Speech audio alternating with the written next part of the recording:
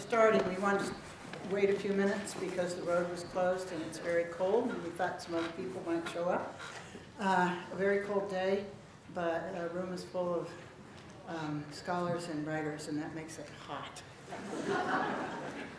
Um, James McConkey came to Cornell in 1956 and taught here until 1992. And I may add, I don't think he missed a reading in that time. And uh, he certainly um, continued to attend readings in this room and others. Uh, the most faithful audience, I think, in the history of the program. We thank you for that with this uh, attendance And I'm here today, too. and he's here today too.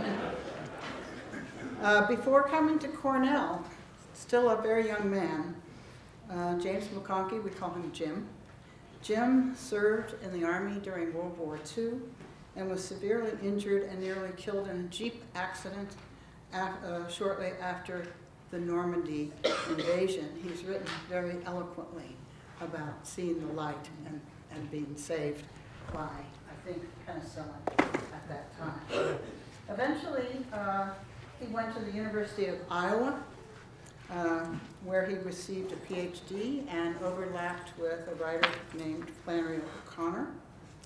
After serving as a professor in Kentucky, and he's written a whole book about that experience, he took a position at Cornell. Nabokov was still here, and so were two of what became many uh, of Jim's famous writer former students, Thomas Pynchon and Richard Farina. Uh, I might add that two other of his former uh, famous students, well, at least one's a student, was Lorrie Moore, Oh, yeah. and uh, Alice Fulton was also here when Jim was teaching. Uh, uh, Two big names, I don't know if Alice is here, but uh, I'll call out to you. Um, Jim, reti- after he retired in 1992, he continued to write and publish. During the time he was at Cornell, he was an editor of Epoch, he was the chair of the Council for the Arts, he was the arts advisor to the provost, and he helped found the MFA uh, program, which has brought many of you uh, to this room today. He also helped in many different ways, but also chiefly as an advocate, sustain the undergraduate and graduate writing programs when there wasn't a lot of enthusiasm among all of, quite all of the English faculty. And uh, when there was very little funding for writers or for readings or for EPOCH. I think I can safely say that we would not be gathered here today as a writing community and reading community if it were not for the work on behalf of the English Department, the Program in Creative Writing, and the university, uh, the work of Jim McConkey. The occasion of this reading is the republication of Jim's book, Court of Memory, and I think it has a new title. Is it now called The Complete Yeah, it's, Court it's of now Memory? done. It's all over. the completed Court of Memory. Uh, one of 14 books that Jim has written or edited, and surely one of the best books ever written by an American. I first encountered the book in the New Yorker when sections of it were being published, and could not believe my luck when the next year I got to meet the author and take a position in his university. When I returned to my home university after my interview, and it was a nearly disastrous interview, but I think because I did so poorly, uh, Jim led the writers in voting for me. I think, I think it was a kind of a, a pity vote, and they said, you know, if we don't hire her, I had the same experience when I was a waitress. If we don't tip her, she won't make any money. And I think they thought, thought if we don't hire her, no one will. And when I got back to my home university, the first question the fiction writers asked me was, did you meet James McConkey? Is he nice? because how could anyone be as nice as the James McConkey is in those brilliant stories that are now appearing in the New Yorker? That's a true story, Jim. Is he nice? It's hard not to think of Court of Memory as a book of fiction, although Jim has said that it is not fiction and that his project for many decades has been to write about real life and not make anything up and reflect on life and not make anything up while reflecting. What he writes about is his family life, and the animals that share it. And uh, I was once a part of a house sitting team and fed many of those animals. I was, it was amazing how many there were. There were horses, dogs, cats, and there were some birds that seemed to be expecting to be fed as well. I mean, wild birds that came. It was like going to the home of St. Francis. His life has not always been happy. His father, and he's written about this, his father left the family for three years to marry another woman, so there's been some darkness there, some reason to be unhappy. But Jim McConkey always writes his way back to the light. Rarely have I encountered in any writer's writing a heart as large as the heart of Jim McConkey. To read him is to experience the capacity to forgive and the capacity to love. I mean that literally. I feel at times as if I have loved Jim's three sons, and I've only met one of them. In fact, I just met another one and a son-in-law, but I feel I feel I've loved you all my life, Larry.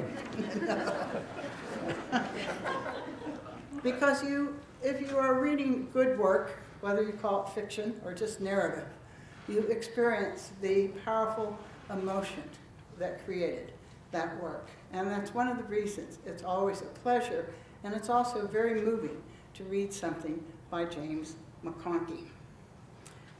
Today, some of his family is here. That's why I've met more than one son, and I would like to welcome them, uh, Larry and Diana, as well as Chris, uh, and ask you to join me in welcoming Jim back to Cornell and back to the podium. Thank you.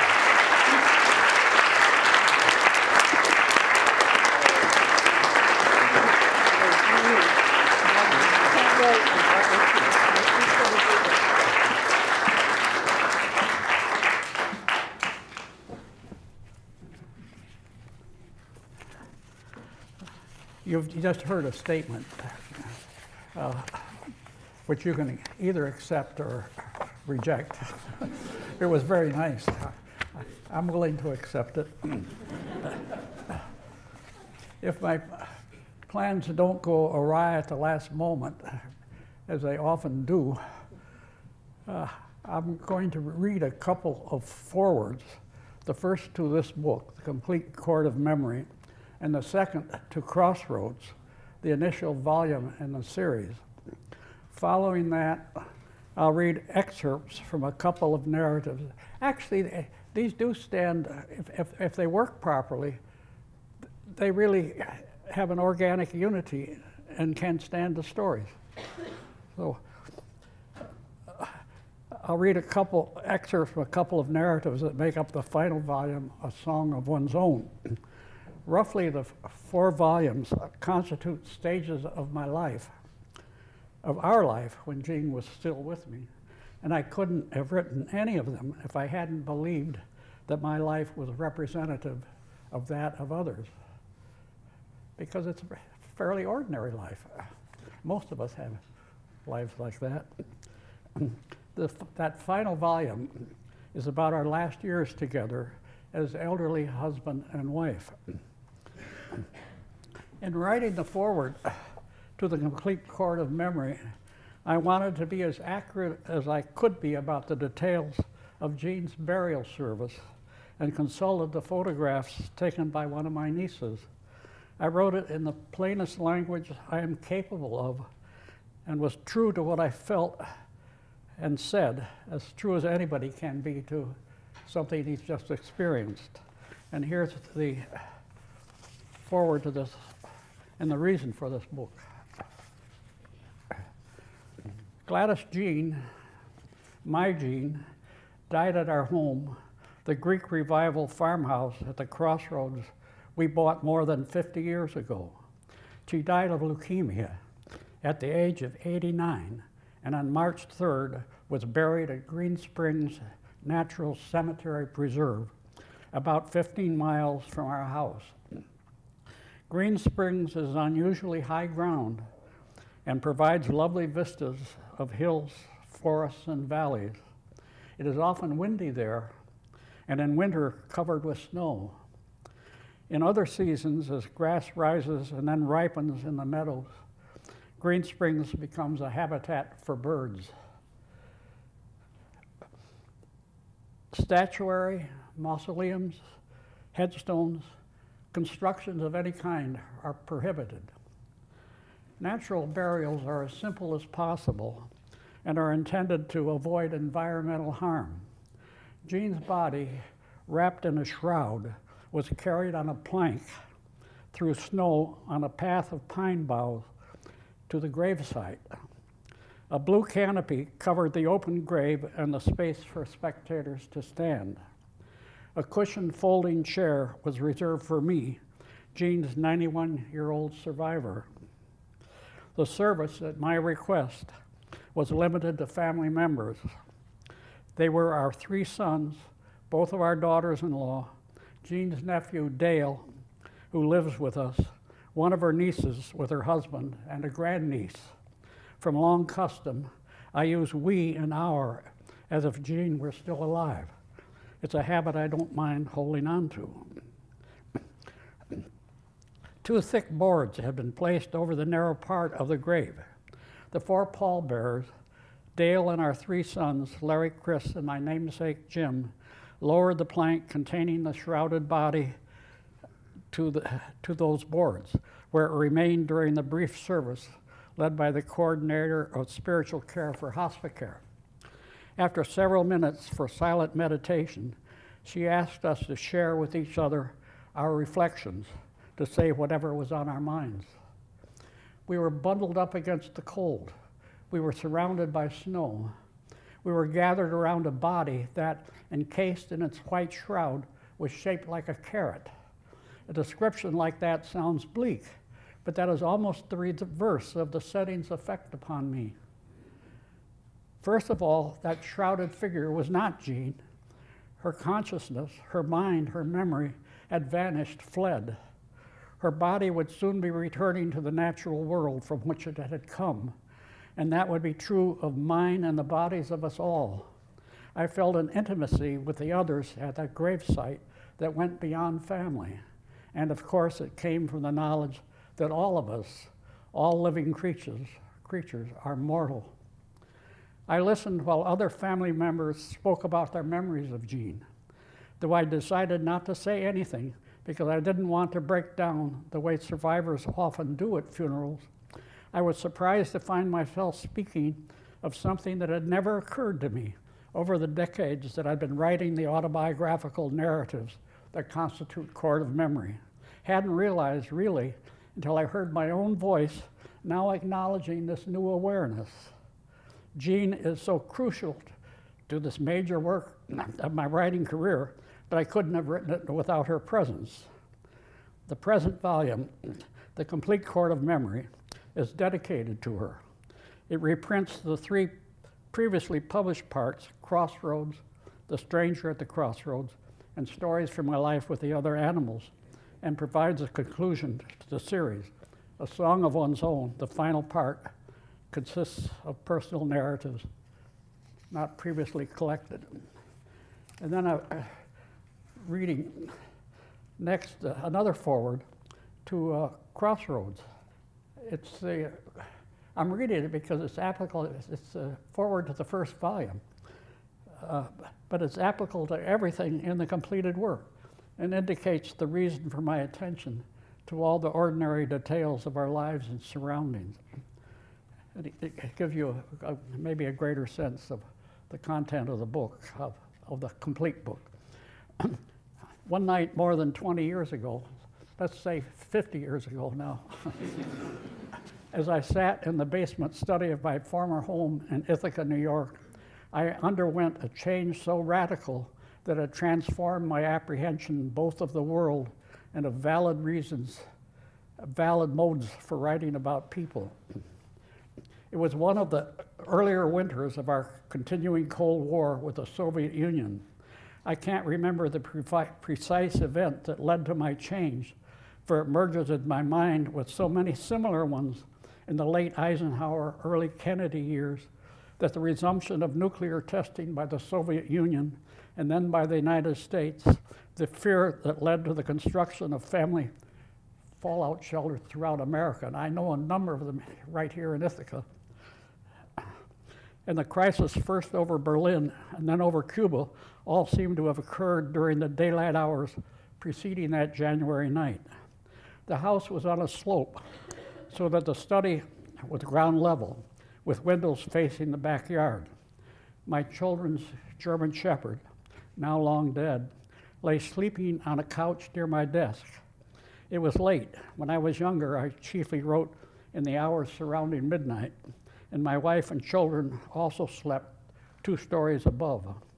I had just finished writing a story, a fairly conventional third person narrative in which a child assumes the cold and impervious nature of his mother in order to, order to defeat an emotional and wholly vulnerable, vulnerable father. I was dissatisfied with it, though I thought it well written. What did that story have to do with my present feelings? What did it have to say ab- about a society that might destroy itself with nuclear missiles very soon? Always I had assumed my love for my wife and children, but not until that night did I know its extent. Everything about me had become transformed my desk, the books on the shelf, my reflection in the dark glass. Momentarily, I turned off my lamp so that I could see what lay beyond my window. Snow covered the ground and was shimmering in the light of the stars.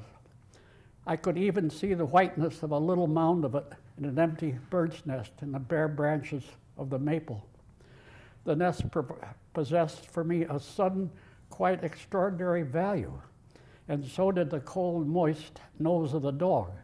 The meaning inherent in that nose was so intense that I will remember it all my life, that I will remember all my life the simple experience of touching it. The story I had written was unsatisfactory because it was made up. It had, this was discussed earlier very nicely. a, a fiction, one devoid of the sacredness I saw everywhere about me. The only way open to me to, to communicate the strength of my feelings was through myself, through my intimate experiences, through memory and personal observation. I did feel kinship with a character from fiction, though, Conrad's Decoud in Nostromo, a great novel. As he, awaiting the destruction of a city and political state, writes a long letter about his activities to his sister in France. In the most skeptical heart, Conrad says, there lurks at such moments when the chances of existence are involved a desire to leave a correct impression of the feelings, like a light by which the action may be seen when personality is gone. At that moment in my own life, I began an autobiographical account of the meaning implicit in one of the humblest objects imaginable. A botched up nightstand I'd built as a child for my mother had come into my mind, and I believed I could use it more readily than the bird's nest or the dog's nose to communicate the value of the ordinary and commonplace. In rereading that account, I realized that I was, as I still am, held by the old truths of literature. My words turn into a statement of the momentary victory of the imagination, not only over mortality, but over those aspects of the real world I had wanted to celebrate. Whatever my wish, I had not escaped fiction. I had simply made myself the central character of a story, finding in my own experiences and dreams a greater authenticity than I could in those of any character I might invent. Though I didn't know it then, that story was the beginning of a book, the first volume of which was called Crossroads, and which is here reprinted with a second, A Stranger at the Crossroads. The change I felt in myself that night was reflected in other writers at roughly the same time. It was a change wrought by a sense of desperation at the folly of public affairs by a sense of the human irrationality demonstrated in present history and the history of the recent past, including the evils of Auschwitz. When either went inward, striving to testify to the meaning that still existed for the individual, treating, trusting that the aspirations and emotional needs of the self so depicted would be representative of the responses of the separate individuals who read about them, or when went outward beyond the personal truth to the region in which the sacred apparently no longer existed, the outer world in which the individual had lost his uniqueness, the world which lacked apparent logic or causality or even substance. I was really thinking then of, of what became postmodern literature, in which th this does apply. I, I don't think it applies so fully anymore. More than two decades have passed since that January night, and the sphere which is literature has begun to tremble with whatever possibility that continuance allows, like a bead of water in a blighted but still living rose. If the sense of imminent catastrophe was a provocation of crossroads, an encounter at the crossroads with a young stranger was a seed of the companion volume, begun after a lapse of 10 years. In telling of his most intimate, telling me of his most intimate concerns, he needed a listener, maybe for his survival, and I was the first he found. He so moved me that I saw myself as someone much like him. I became, in a sense, a stranger at my own crossroads, a man well into his middle years, desiring, now that his children were grown, to understand himself all over again, to redis rediscover a personal order, and to communicate what he found to anybody who would listen. Perhaps wishes of this sort are the inevitable result of that displacement of self, which a sudden insight into human mutuality provides. I have discovered my plot in the relation that exists between my present and past. But the present is always changing. In fact, it doesn't exist.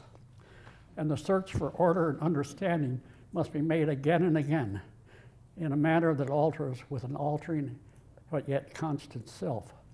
What follows is a story of a person who, through much of its adult life, has been attempting to use memory as a faculty capable of illuminating experience with a truth that matters most to him. Time itself imposes a progression, but progression as we normally perceive it, a continual interweaving of current happening and related remembrance with certain memories, those leitmotifs of our lives, the events that early shaped us, recurring more frequently than others. Hence, while the chronological headings refer to the years of composition, individual chapters move between a present moment and a moment or a number of them in an ever enlarging past. We are what we were. That was written in 1982. Then I'm, I'm going to read now just two excerpts from material in the last volume. Uh, there are two accounts from, from the, the, the, final volume of, of the book, and they're both uh, excerpts, one very brief. The first one is from Happy Trails to All. I wrote it primarily for myself. I wasn't concerned about publication. In fact, I didn't even think, I mean, at that time, I really, there was a question that occurred to me that I wanted to answer for myself. And I sat down to write it. And I didn't really think it would be published. But I sent it to uh, Ann Fadiman, the American Scholar. She not only accepted it, but with her board of advisors, chose it as the best entry, best piece of the whole year, which was very good for my ego. you know, I'm trying to think. Uh, you know that phrase, why I write? Someone has said the answer is obvious in the vowels of each word.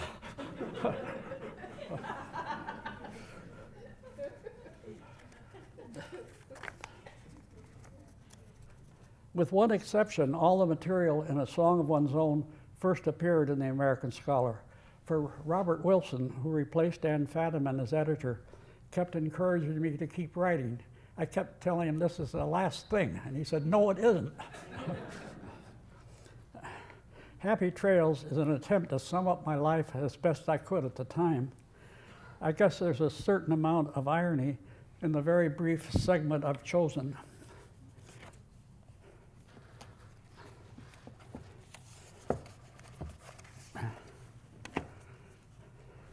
I may be in my 80th year. I'm in my 93rd year right now. But I'm still trying to explore and understand my own psyche. That's also still true. it almost scares me to say it, but I consider my life so lucky that I feel blessed. I always enjoyed the work that supported my growing family. The first paycheck I received gave me a kind of puritanical guilt as payment for fun.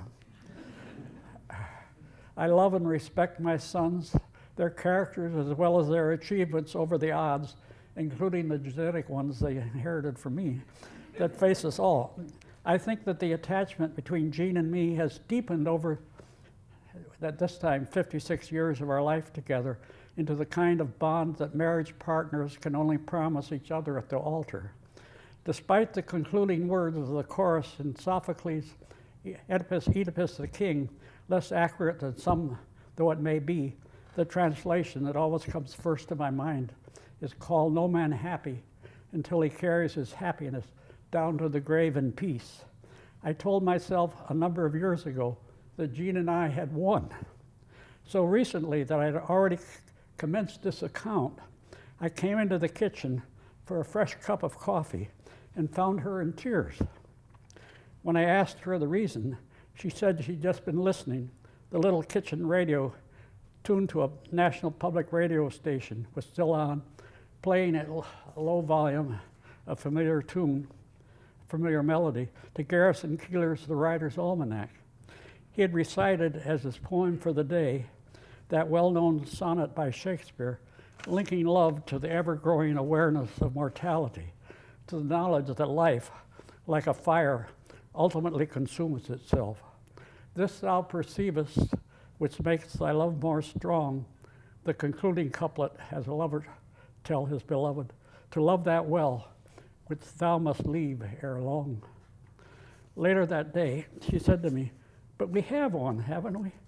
It was more a brave affirmation than a question.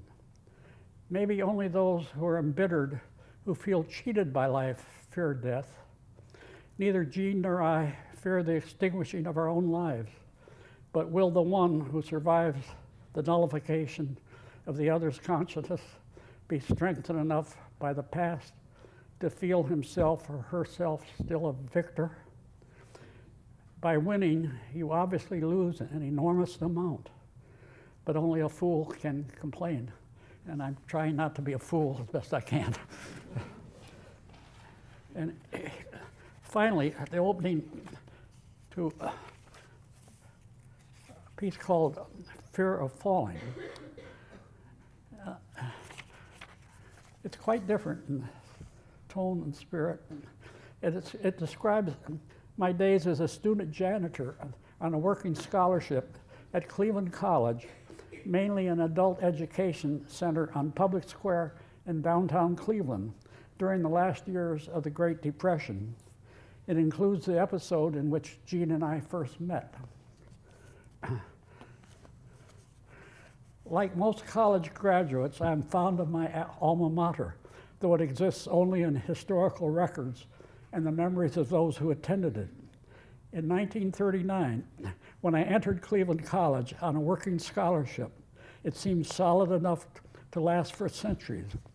A seven storied stone building on Public Square the center of downtown Cleveland, with stout Roman goddesses supporting the balconies on its facade. And its hallways, elevators, and classrooms were crowded with students enrolled less for a degree than for courses to abet their knowledge of culture or to provide skills necessary for employment or a better job. Each year, 20 students from the Cleveland area were granted scholarships like mine and we made up the majority of the full-time students. The depression had not yet lifted, and without those scholarships, few, if any of us, could have attended college. In our first year, we had no work assignments, but as sophomores and upper class students, some of us were elevator operators during the evening rush hours, while others sold textbooks or supported the staff in the mailroom, the publicity office, or the telephone switchboard. Although other students were later to join me, I was the first to serve as a janitorial assistant, and it seemed likely that the initial task that Joe Wilkes, the head custodian, gave me was simply an attempt to find something to occupy my allotted work hours. As instructed, I reported to him at 7 a.m. on a Monday morning. He led me to the basement locker room for women students connected to the sinks and toilet stalls of the adjoining restroom by an archway, a big archway without doors. My task was to dust off the tops of the 10 to 12 rows of lockers before the first woman arrived. It embarrassed me to be assigned such a task, not because of its humble nature, but I was a male in a place where I didn't belong. To complete the chore as quickly as I could, I used Joe's tall stepladder to climb to the top of each row. Moving on my knees, I sent a cloud of sooty dust and filaments of spider webs into the air and into my lungs. Despite my haste, the first young woman arrived before I was finished. Dismayed by her presence, I imagined she would be alarmed to find a man crouched on a locker above her head, a filthy rag in his hand. And so I called out to her as cheerfully as I could don't mind me, I'm just working my way through college. Those words were the first ones I spoke to the slender and dark haired girl I came to love. England and France had just declared war on Germany, but I, like most other Americans, felt our country safe from foreign strife. Throughout the years of my public schooling, I've been taught again and again the folly of warfare with World War I as a prime example. A few weeks before my graduation, from, college, from graduation though, I was an infantry private in the Army, my degree awarded in absentia. Jean, that slender, dark-haired girl, and I, drawn together over the years as member of the, members of the college newspaper's editorial staff, were married uh, on the furlough I was granted just before my division embarked for Europe. The convoy arrived in Cherbourg a few days after the Normandy beachheads had been secured. Serving as an obedient neophyte on a janitorial staff is not a bad preparation for service as an Army private. for example, my experience helped me pass inspection whenever a platoon lieutenant put on white gloves to test for dust on the frame of my bed or in the corners of the heist window behind it. Impressed by my speed in dusting locker tops, Joe Wilkes promoted me to the crew of custodians that on Saturday mornings washed and polished the tiles of the first floor lobby and wide corridors. And that experience proved pertinent in the Army too.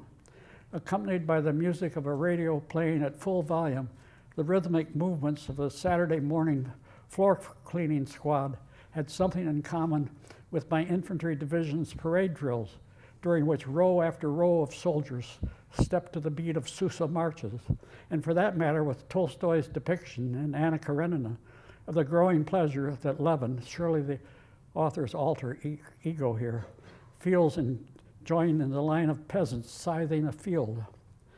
Two or three full-time custodians and I first mopped the floor with a solution, solution of water and, and sodium, trisodium phosphate.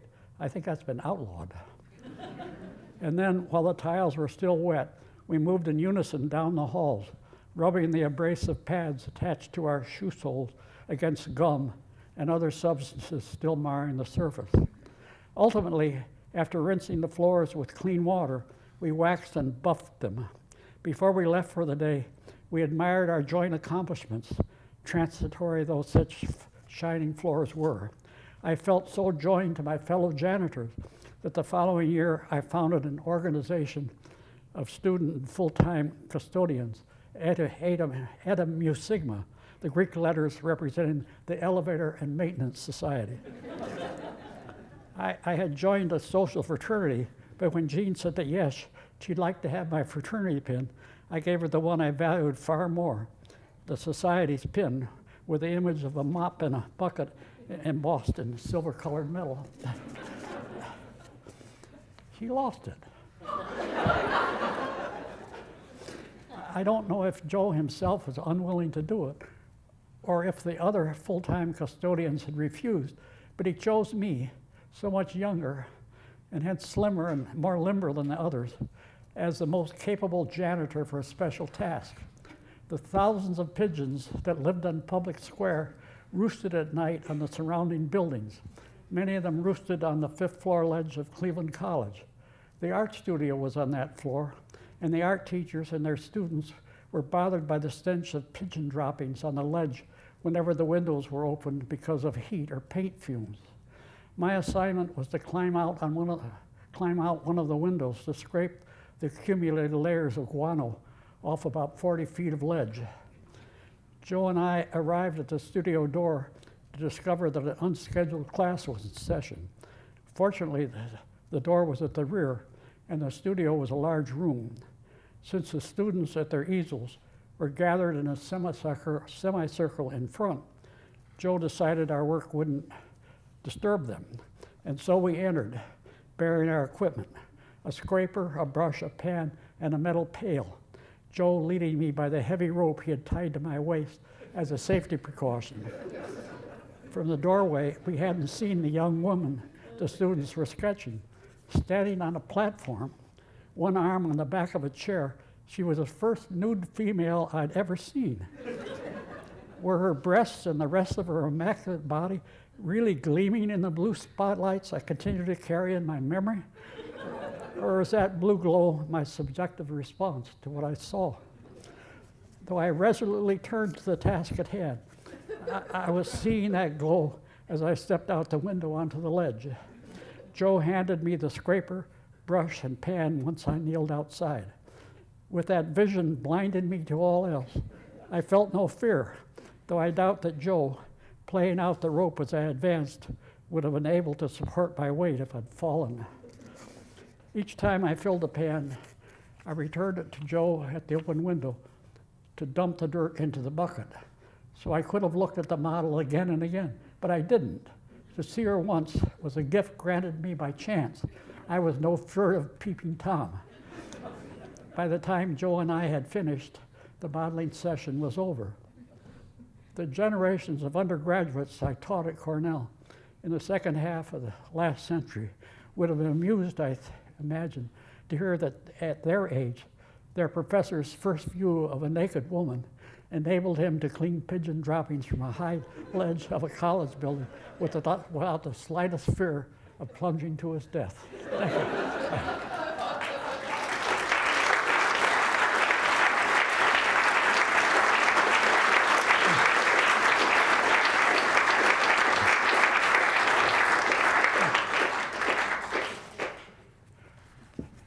Now, I, I, questions? Can I sit down for questions? I think it would be helpful. Now that I'm sitting down, you better have some. Why do you write? Eagle. Actually, you know, I write to become subsumed in something larger than myself. But the only way I can get there is through my own self. Would you like a microphone? Oh, thank you. Now you can hear me. Too bad. Did you hear the answer to that? I may not say the same thing. you know, why do I write? I, I, said first ego, but it's more than that. It's partly I have to use my ego to get subsumed into something larger than myself, which is really why I write. But I can't do it any other way than through myself. Yes? And so did teaching um, uh, amplify your writing, or did teaching just take time away? And, and did you see any shifts in the student writing that you were getting? I, like all teachers, I've sometimes complained about the number of manuscripts I was reading. But no, I, I really feel that I taught generation after generation of Cornell students, and they were all seemed idealistic, and they all were the kind of people I was very glad to teach, the kind of people who would make, if not good writers, good readers, which we have need of. Uh, It's, uh, it was a re- pleasure, and it, it really helped. It, uh, it enabled me to maintain a sense of optimism about us in spite of all the terrible things as a group we do.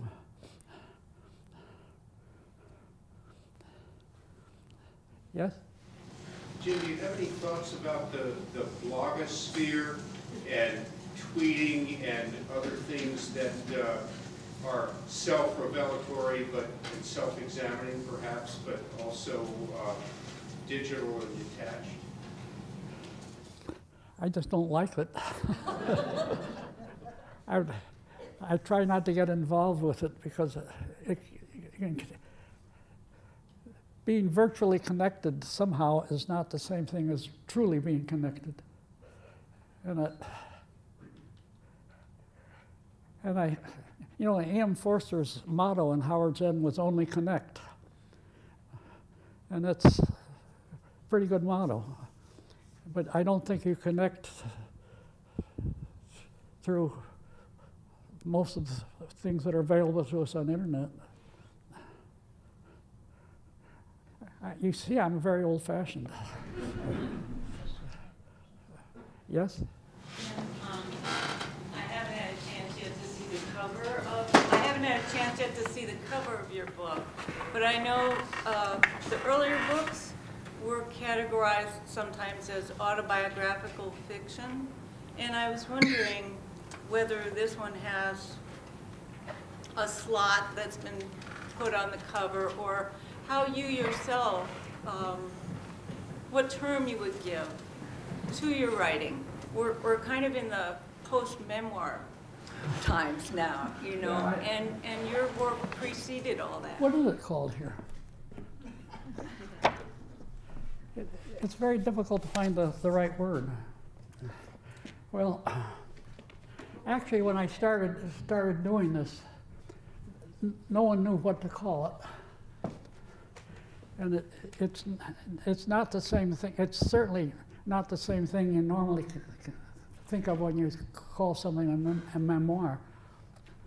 I, I my I'm not trying to compare myself in any way to him, but a, a great influence on my writing was uh, from a really master writer named St. Augustine.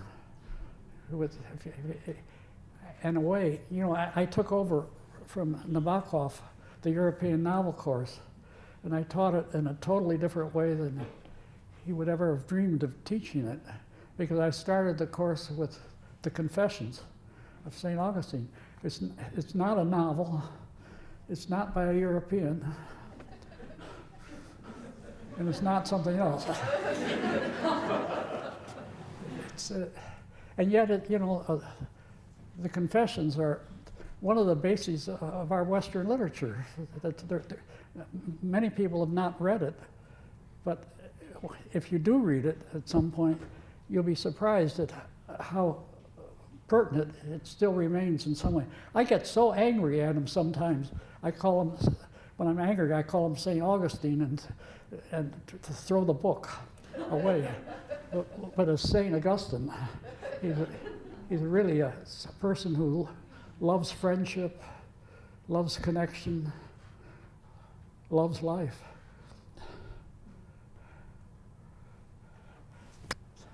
Yes? After you moved away from writing your own fiction, how did it change how you taught fiction? how I, how I talked, how I wrote. Did it change how you taught fiction? Oh, oh, yes, of course it did. It- It changed everything I did. I can't precisely tell you why, but I, I became less interested in, in fiction that was just plot driven, that didn't have something beyond the plot. And I wanted my students to be concerned with something beyond themselves. And I, some of them were that way. But it, it's sort of interesting that you have to use the eye to the first person to get beyond it. I don't, I don't know any other way. To understand the human psyche, you have to understand your own psyche, which is totally impossible. you, you just do the best you can. Yes? What gave you the most encouragement? Was it just doing the writing alone? Uh, someone in your life who supported you, or you know, how do you how do you get going? You know, my parents were had no books in the house. That didn't come from them. But when I was in the uh, fifth grade in Paducah, Kentucky, my father moved every year. I was before I graduated from high school. I went to 15 different schools, which uh, was an education in itself. But I, it threw me back on myself because I never had time to make friends it turned out to be not a bad basis for writing. But in Paducah, Kentucky, a teacher asked me, asked us to write about Christopher Columbus's voyage to America. I was very naive then, but I did write about it. I didn't know about the what happened to the indigenous people. I, I certainly didn't know that he would write back to Queen Isabella that he'd come across these natives, these Taino Indians. He said they're very gentle, they're very generous, they'd make great slaves. That was Columbus. but uh, I, I, anyway, whatever I wrote about Columbus, my, in my naivete, the teacher liked very much, and she just encouraged me to go continue writing. Another, see, I, I don't remember her name. That's, that's bad of me, but I don't. Uh, when I was in the uh, sixth or seventh grade in Little Rock, Arkansas, teacher took a group of us. She must have self-selected us somehow, and we were in a little seminar room and she uh, had us respond to a, a poem by Sidney Lanier called The Song of the Chattahoochee. I don't know if you know the Song of the Chattahoochee. High o'er the hills of Habersham, down the valleys of Hall, I hurry amain to reach the plain, run the rapid and leap the fall. That's nice, isn't it? Run the rapid and leap the fall. Anyway, I, I hadn't known th- this dimension of words, that the way they sounded could be used in some way to augment meaning. And I was so excited by that that it encouraged my own desire to write. So those are two episodes that did what you asked. And I think, I think that's true.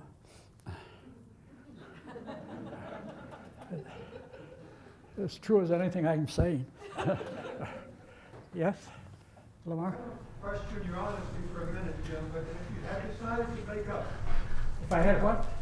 if you had, this- if you had decided to make up the first line a young man says to the woman who's gonna be his wife, don't bother, don't worry about me, I'm just working my way through college, you couldn't have made up a better one. Well, let's say I made it up then.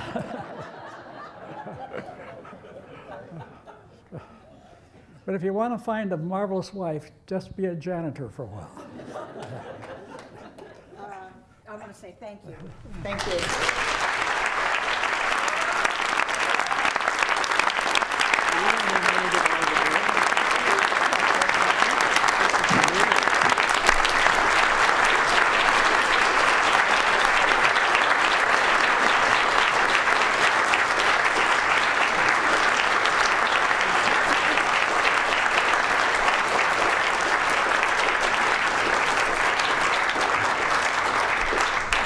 think I forgot to tell you that the Zalaznick family is sponsoring this, uh, this reading and all the readings this semester. The visiting writer Cynthia Hogue will be reading two weeks from today on February 6th. I think that's two weeks. Uh, Same time, same place. And uh, three of Jim's books are for sale. The book, uh, the Buffalo Books has, is uh, selling them here. And also, there's a reception upstairs in the English Lounge. Everyone is, of course, invited. And thanks, thanks for coming. And thank you, Jim. Thank you.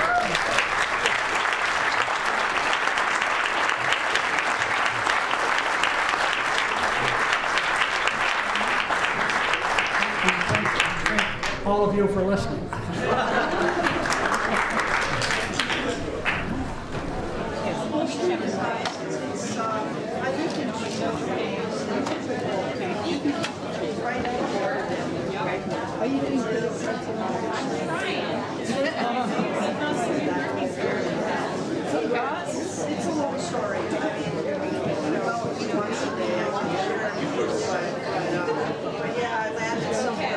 I